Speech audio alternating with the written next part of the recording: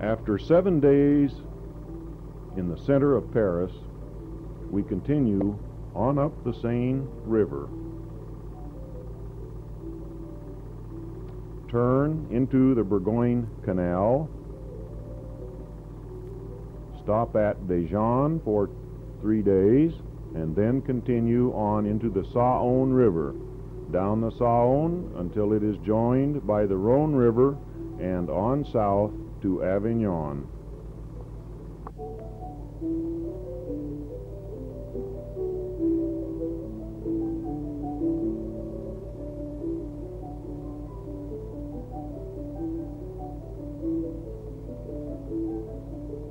The historic Cathedral of Notre Dame is our final sight of Paris as we motor up the Seine on our way over the mountains to southern France. We only logged eight miles the first day after a late start and a long delay at the first locks.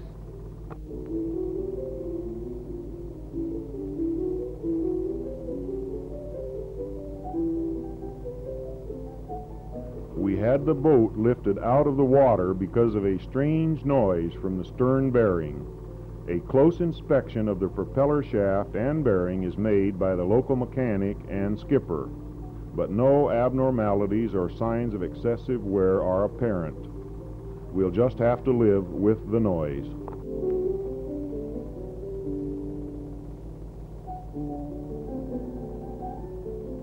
We leave the Seine and enter the historic Bourgogne Canal. The fall colors are a real delight. We were surprised to see this pair of Americans at the edge of the locks. At the next locks, we see a couple of natives. She drinks while he stands guard.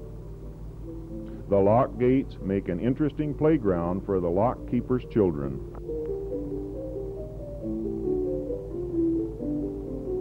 After several of these small locks, we develop our technique. Charlie stays with the boat, and I grab the ladder as we go by and climb up and secure the bow and stern lines.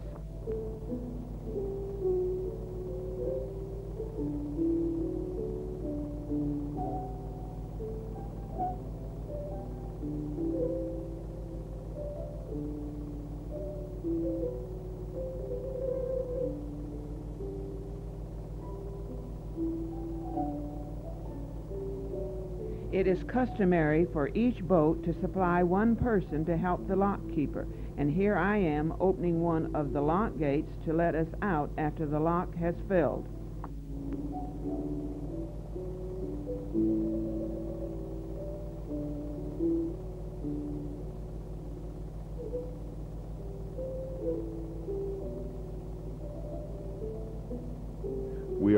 Nearly at the top of the mountains as we round a bend and see the two mile long Pouilly tunnel entrance. The tunnel is unlighted and just wide enough for a barge. The barges are towed through by an electric powered tug, but we go through on our own. It gets darker and darker as we go forward into the tunnel.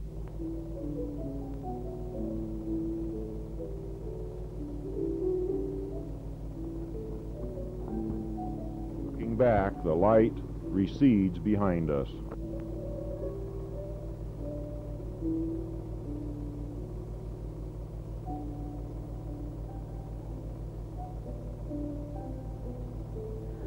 I shine our six cell flashlight on the trolley wires overhead to enable Charlie to stay in the center of the narrow tunnel. Finally, we see light ahead, and 30 minutes after entering the tunnel, we come out the other end. It is all downhill from here to the blue Mediterranean. We've logged 231 miles since leaving Paris and are 300 miles from the Med. This is the high point of our trip in more ways than one.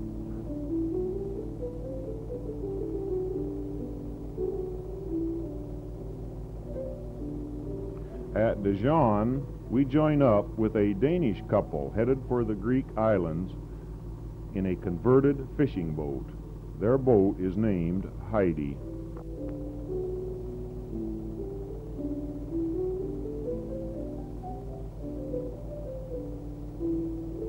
El reverses the procedure used in the up blocks and now gets off at ground level and has to jump aboard as Gypsy Girl shoots out of the locks.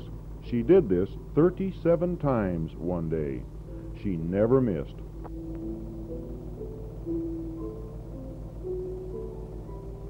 The Saone is broad and smooth, so we travel side by side with Heidi when we reach it. As we exit a huge locks on the Saone after several cloudy days, I take advantage of a beautiful sunny day and do the laundry. We are just about to enter the Rhone River and will then be only 250 miles from the Mediterranean, where we will step the mast and go sailing.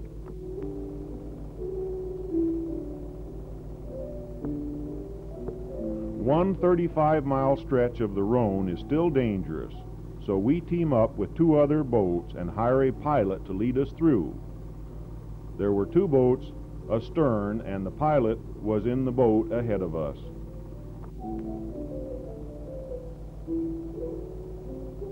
At times, we can almost reach out and touch the exposed rocks as we go roaring along at about 10 knots.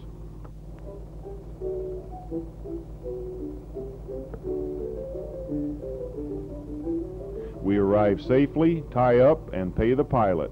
It's been one of the best $25 investments we've ever made.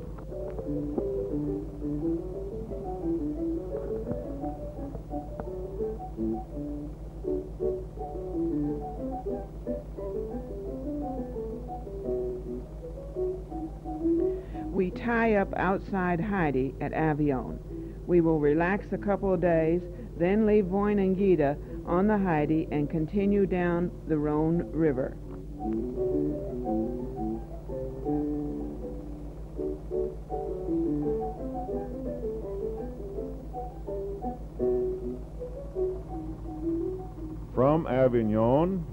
Continue down the Rhone River just a few miles, take a lateral canal to Sète on the Mediterranean, then coastal hop from harbor to harbor around the coast of France and Spain to Cartagena. These are nearly all daylight hops, but occasionally they're so far apart we must get up in the middle of the night to assure a daylight arrival at the next harbor.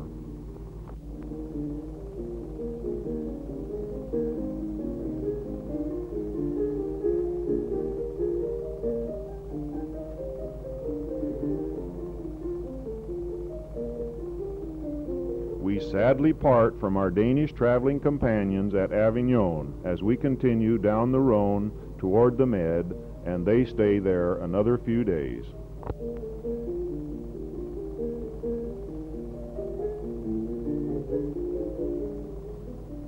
We see our first herd of wild white horses.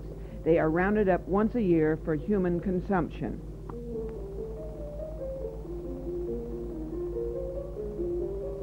We see a huge flock of flamingos and just have to stop and admire them. They eventually become uneasy and finally take flight. They are a beautiful sight, and we don't leave until the last fly away.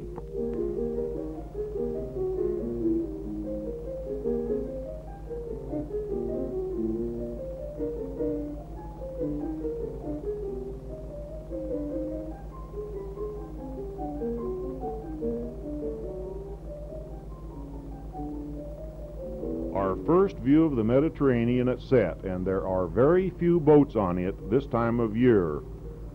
We wonder why, but later find out.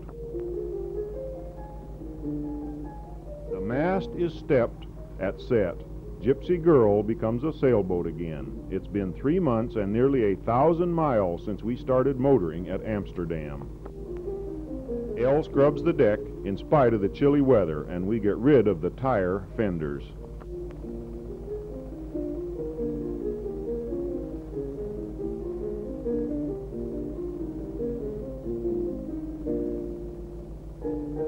Second day out on the Med, we have a good wind and the snow-capped Pyrenees for a backdrop behind the deserted waterfront apartments of the French coast. Soon the wind pipes up and we take six turns in the main as the wind suddenly goes from 10 miles per hour to 35 miles per hour in about five minutes.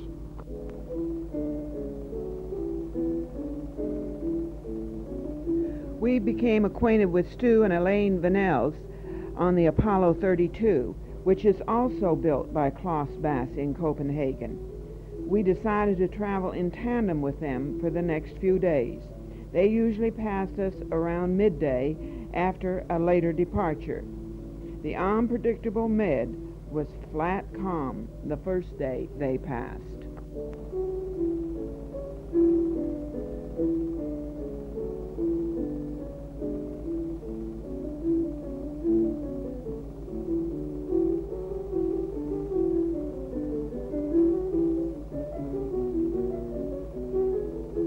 Typical of many of the rough and cold days we spend on the Med as we charge along under reduced sail. Room was limited when we arrived at this little harbor, so we tied outside the Apollo 32. It is now December 24th, and we get our Christmas present early as the wind freshens and allows us to sit idly by as Maestro does his stuff. It's an offshore breeze with a moderate sea, and we hardly touch the tiller all day. The Med can be beautiful.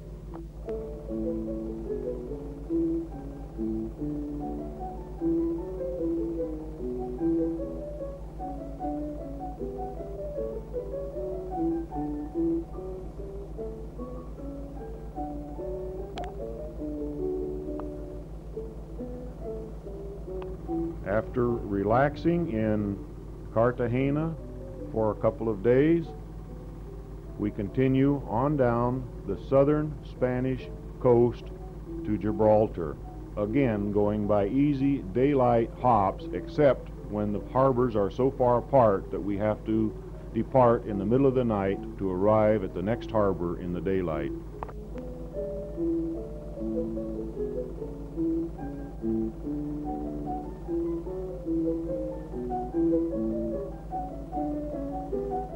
We are all secure in Cartagena harbor by sundown Christmas Eve, and El lights three Christmas candles that our grandchildren have sent us. The next day we had Christmas dinner aboard in the fishing harbor. There had been no room at the inn. Oops, I mean at the Club Nautico.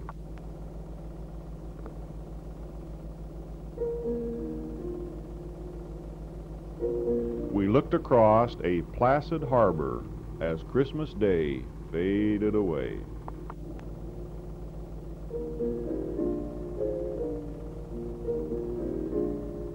The first two hours out of Cartagena are under power, but at 10 o'clock the wind picks up and we are soon close hauled into a 20 mile per hour headwind.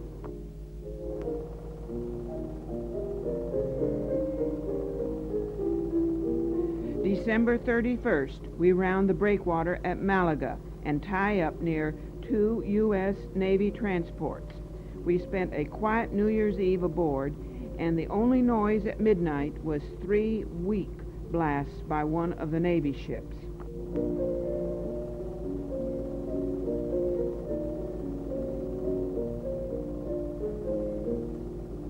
Several days later, we see Gibraltar under the mainsail. We've traveled over 750 miles in the Mediterranean, and we're going to be happy to leave it. It's cold and capricious in December. As you can see, we are again well reefed down as we approach Gibraltar.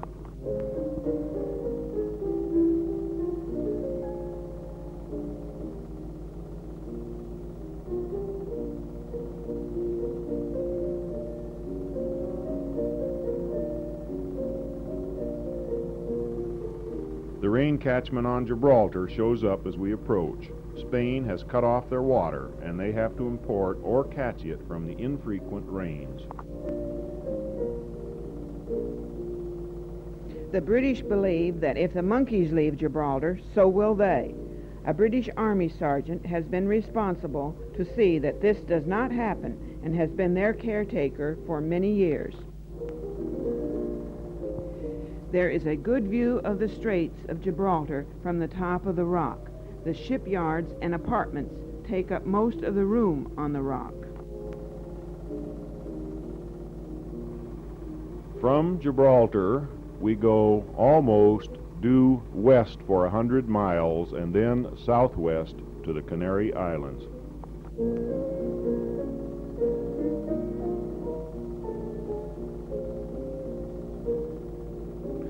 Rock is still British, but all direct communication and transportation with Spain has been cut off.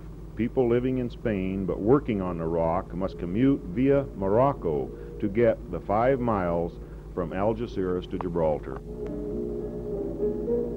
I practice with the plastic sextant and discover that Gibraltar is right where it is supposed to be, plus or minus five miles or so. That should get us within sight of land.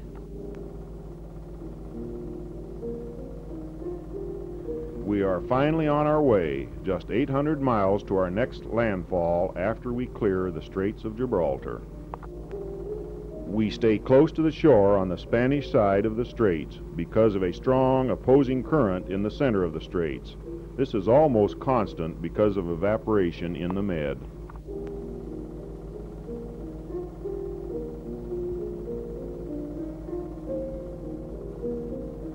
On the second day out, we see something in the water just off our course and divert to investigate. It is a fishing float. A little net and line all covered with barnacles. It's been at sea for some time.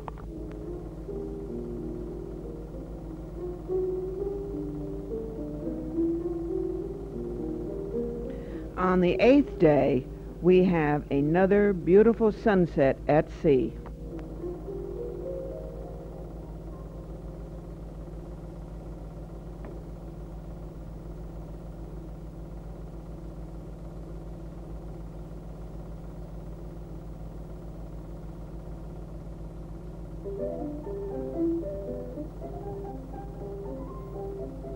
Nine days, 800 miles, and there is Gran Canaria right where and when it should be. Every landfall is a thrill after several days at sea.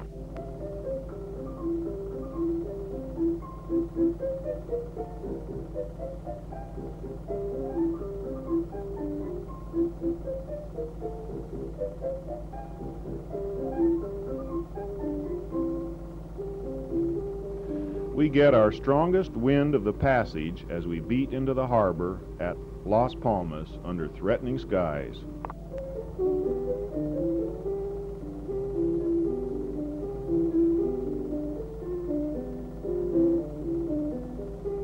This Norwegian ferry is owned by two Canadian boys and they are trying to get passengers for the trip to Barbados.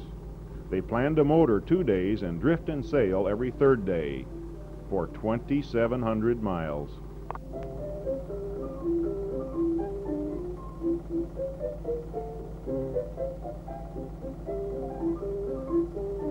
Two hours out of Las Palmas and we get hit by a squall. It looked like more of the same, so El suits up and puts on a safety harness. We always wear them in bad weather and at night.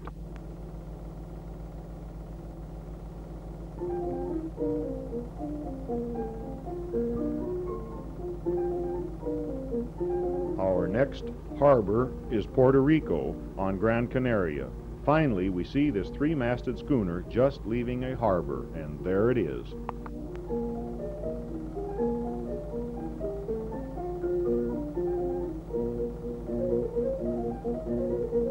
This little tourist area is named Puerto Rico and is a favorite winter vacation spot for Scandinavians, a few English, and even fewer strays from other countries.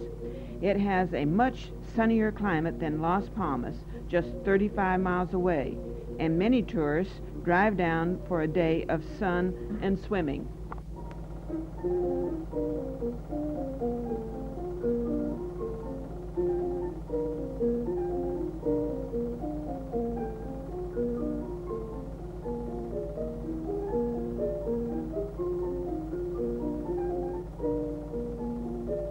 After several days, at Puerto Rico and a change of crew, we are ready for the crossing to the West Indies. We leave Gran Canaria and head southwest to just above the Cape Verdes Islands and then across the 17th parallel to Antigua.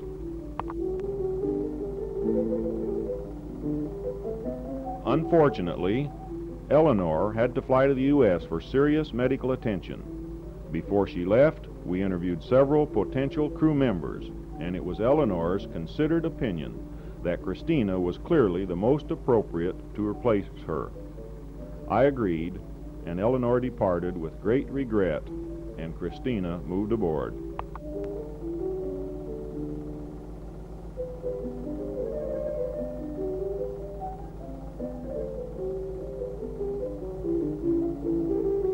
Christina spends the first four hours on the tiller so she can get the feel of Gypsy Girl. Also, it gives Charlie a chance to evaluate her capabilities.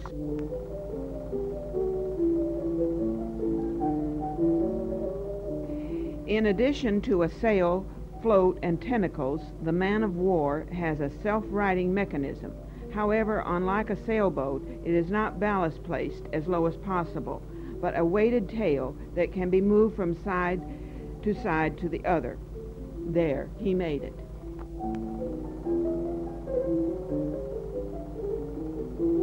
On day nine, the wind swings more to the north and becomes squally. It goes from 15 miles per hour to 35 miles per hour in a few minutes. We tire of changing sails and finally settle for the working jib and a reefed main. We lose a little distance, but it's easier. We logged 120 miles this day.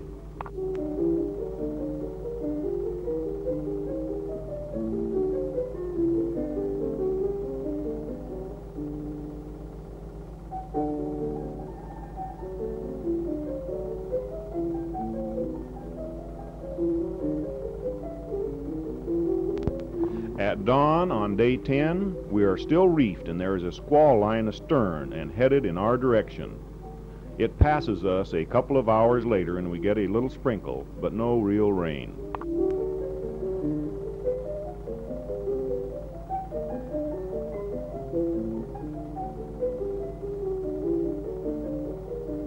Maestro, the wind vane, is working great. However, with squalls around, the seas are confused, and Maestro gets the same way occasionally. So someone has to be ready to assist him if two freak waves in a row throw him off course. Finally, on day 11, we catch a mahi-mahi. These fish are also called dorado or dolphin. They are a beautiful fish, fun to catch and delicious to eat. Two days later, we catch a nice yellowfin tuna. We use a 50-pound test line and 40-pound test leader. So if it's this size, we just reel him in. If we, we have to luff up if he's much larger than this in order to bring him aboard.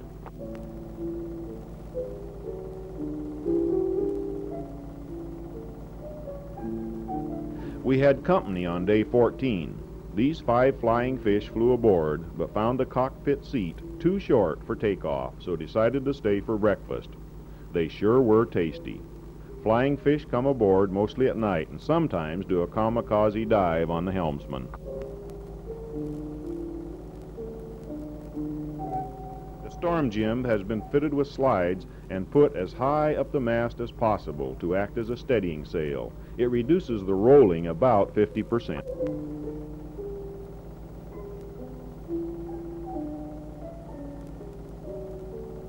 After a shower, we caught this fine mahi-mahi, and he came off the hook as I lifted him over the side.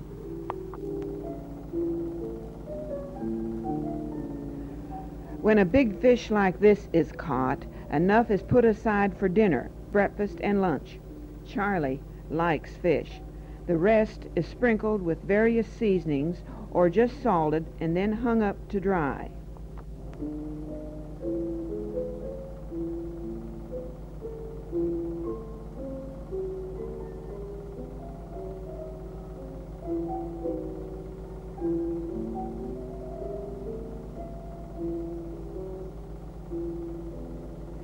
Are no flies or other land insects offshore, so the meat is quite sanitary, and the sun, wind, and salt air do a nice job of preserving it.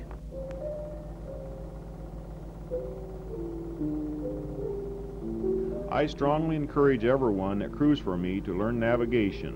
It serves as a check on my own and would be useful in an emergency. Christina has been studying and practicing since shortly after our departure from the canal. We're now approaching land and she's getting anxious.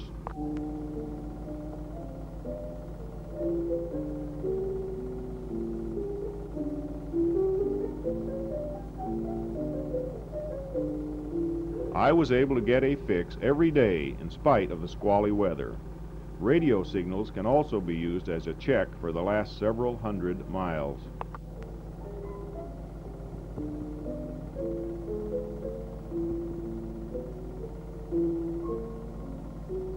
The morning of the 28th day is overcast with limited visibility, but we have seen the light on Guadeloupe, an island just south of Antigua. So by first light, we are straining our eyes, and suddenly there it is, right where and when it was expected. Christine is happy about it. 28 days, 2,800 miles in a 28-foot boat has provided time and place for a nice crop of gooseneck barnacles to grow. They are a common sight on ocean crossing sailboats.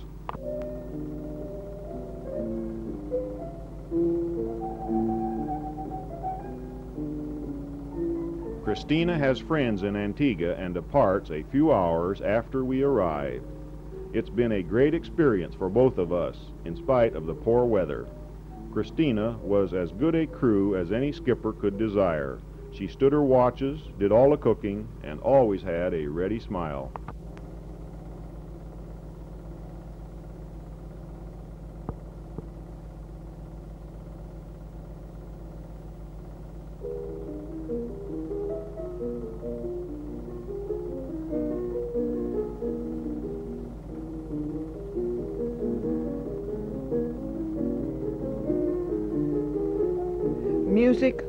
Elaine Jardine.